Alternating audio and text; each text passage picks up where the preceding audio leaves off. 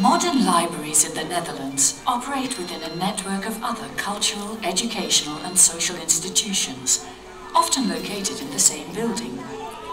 Fine examples of Dutch design and restyling demonstrate the importance of libraries as community landmarks. Most public libraries are non-profit foundations they serve as a library network with well over a thousand service points and 60 mobile libraries in a country with 16 million inhabitants. All the libraries are members of the Netherlands Public Libraries Association, which promotes innovative strategies and products, quality, and the provision of network services. The libraries are chiefly funded by the local councils. Access is free. Users pay an annual membership fee for services.